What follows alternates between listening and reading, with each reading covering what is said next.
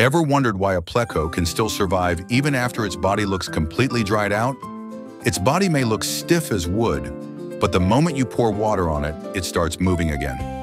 Plecos originally come from South America, a region with extreme cycles of rainy and dry seasons.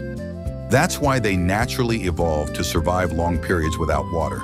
When water's available, they breathe through their gills. When water disappears, they enter a dormant, sleep-like state.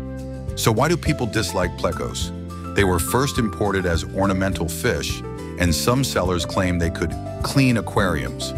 While they do eat algae, they actually prefer fish eggs and tiny fry. Things got worse when people began releasing plecos into the wild. From that moment, their population exploded. A single pleco can lay up to 2,000 eggs. They specialize in eating other fish's eggs and aquatic plants. If food is scarce, they'll even chew on carcasses and plastic. Their durability is basically on par with cockroaches. They can thrive in filthy drainage canals and still move around like nothing's wrong. And in the wild, they have almost no natural predators. Local fish simply can't compete for space. But if there are so many of them, why don't people eat them? Well, despite our reputation for loving all kinds of food, plecos are almost all bone with only about 17% edible meat.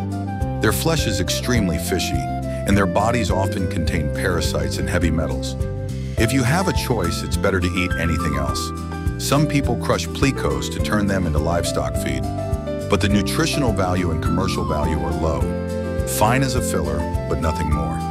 The best way to control them is simple. Burn them or bury them.